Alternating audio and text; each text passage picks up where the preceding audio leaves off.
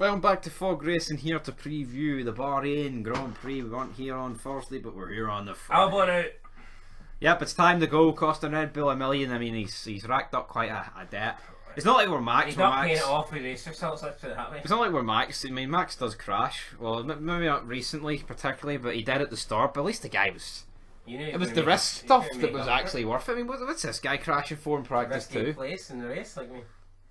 No, I'm sick of it. Obviously, I'm banned from Twitter now, so I can't really see it. But We're both banned from Twitter. sick of all these Albon fanboys greeting, saying how he's doing a good job and that the Red Bull's not the second fastest. Here, we'll see earlier in the season, they had the excuse that he was fourth in the standings.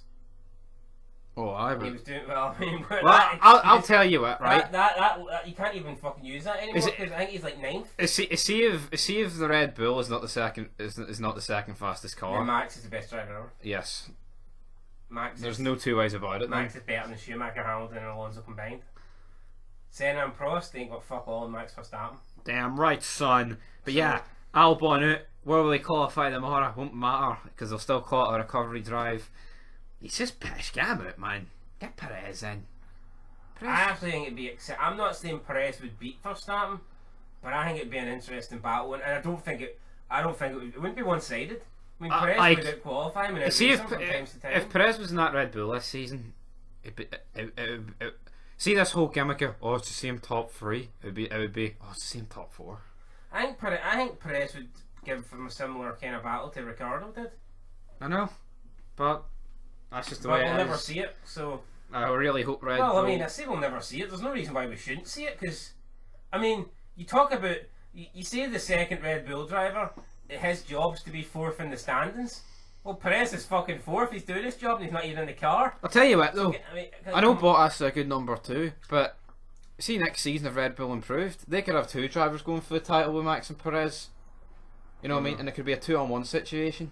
Because let's be real, Bottas. I mean, say say Red Bull massively improved and were just a bit better than Merc, that could benefit them big time. Yeah. But they're never going to have it. But anyway, we're in talk about the race preview, man. We're talking about Perez and Albon, but we could talk about that for a bit. Give Hulkenberg another chance. Fuck it. I mean, the guy deserves a podium, Yes. and I'm not. I'm not gonna. I'm not gonna. I'm gonna die on the hill until we get him a podium. Hulkenberg cannot retire until he gets a podium. But anyway, speaking of this race, it's probably going to be another win for. uh, Well, he didn't win. The, he did win the last race for Who? me. Hamilton. Forgot. I thought it was uh, chaotic because Well, you didn't. You didn't do. it. You didn't talk about it. So if you want to talk about that race, go ahead right now. I mean, people say Hamilton's overrated, and that- well, I mean, I guess you, you could you could maybe give him he's overrated, but people say he's not that good, and that you know he only wins because of the car.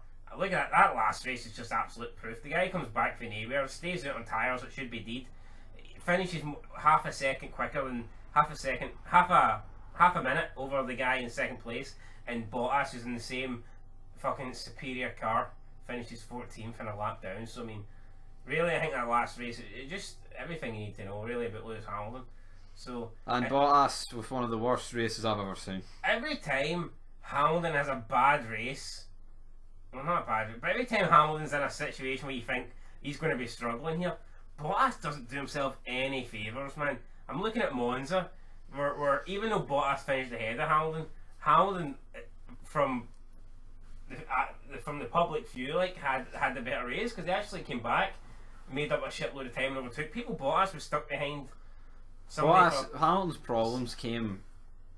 I mean, it was. Uh, I mean, I know you say it was his fault, but Bottas lost track position to cars that are inferior. Well, Hamilton lost it due to a penalty. Yeah. And that's it. Bottas is pissed. Get Bottas and Albon out. I mean, he's better than Albon, but No, Bottas deserves to stay in F1, but I think he's he's had four seasons now, right, in a top team, and Well, the team. yeah, the dominant. And let's be real, he's he's not once came close to beating Hamilton. You know.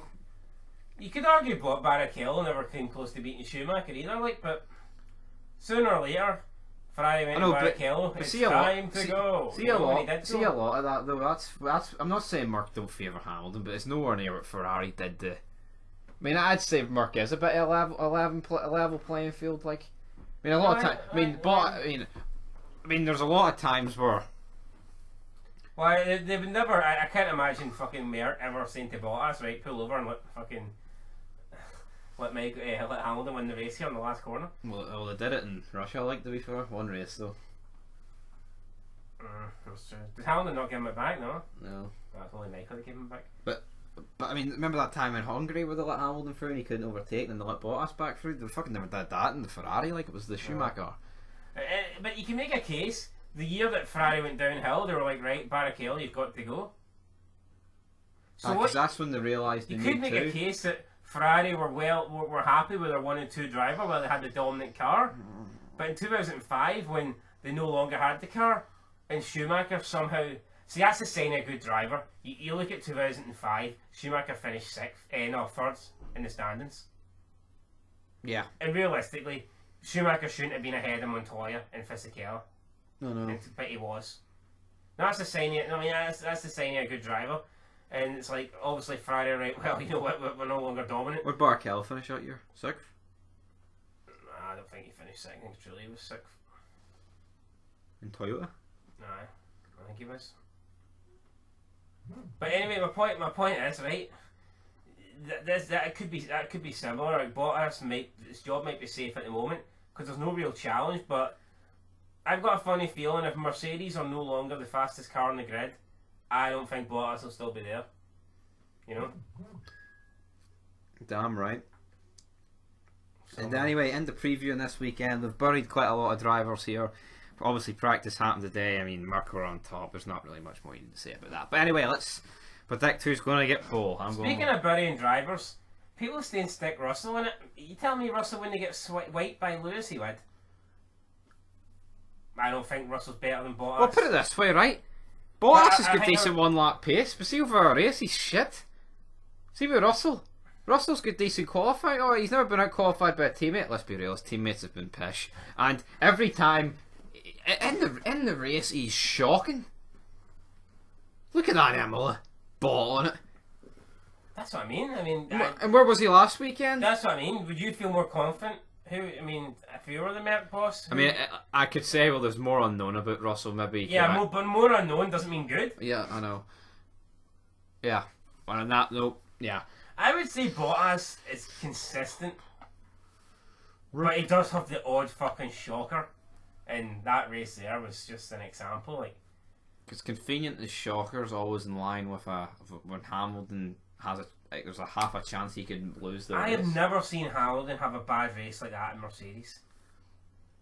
Hamilton's bad races, oh, he starts through the back and he, He gets further. from- yeah, like I've never seen Hamilton just have a race where he, he's stuck in the midfield the entire time and makes absolute no fucking impact in the race.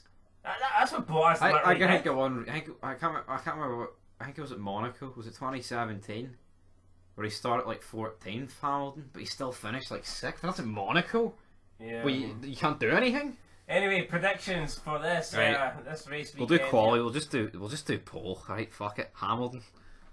Yeah, I don't I don't see any signs. I don't see any anything telling me that Practice looked like Hamilton. Bottas nowhere near him. Well, let's be real. I'd say the last few races, Bottas has been pretty good in practice and qualifying, but he doesn't really deliver when it matters. The race. Yep. Yeah, I wouldn't even be surprised if fucking Hamilton's just taking it easy. In front. I, I think he does. Maybe not so much qualifying, like, but I mean, see, see uh, these weekends where where Bottas is getting fastest in all three practice sessions. Is that truly because he's quicker? It's no coincidence that it's it's a regular occurrence. Yeah. Ah, I mean, Because the know they talk about in Sky, they always talk about they analyze like Hamilton in practice, and it's like they always say he risks stuff. He sees what lines he can and can't take. So obviously Hamilton seeing what he can do. What what what's the capable of Aye, for the race. for qualifying? Aye. Well, Bottas is just.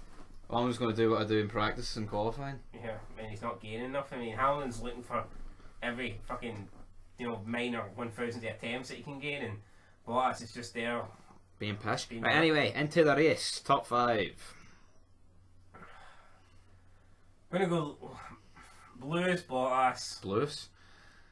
Lewis, Lewis, Bottas, Max.